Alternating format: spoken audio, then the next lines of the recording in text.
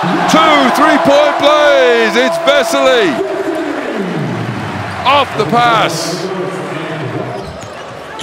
Pressure from Gran Canaria. Sloukas works open and finds Kalinic for the throwdown.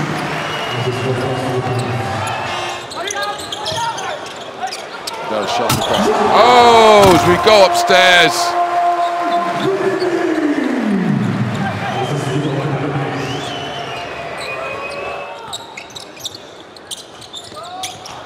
As Evans with the steal and the flush.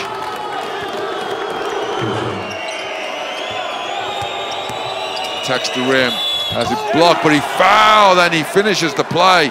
Well, Christopher Evans showing the strength. There's a lob at the other end, and Kevin Hanna to Anzejs Pasecniks. And they stick around. Not for long though, as Lauvergne goes up top. Pauli attacks, lobs it upstairs, and well. Oh, Lauvergne, Joffrey Lauvergne. We'll see that one again. Not every moment you see the big man.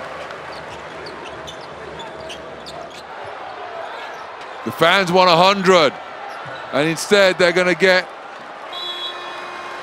nothing.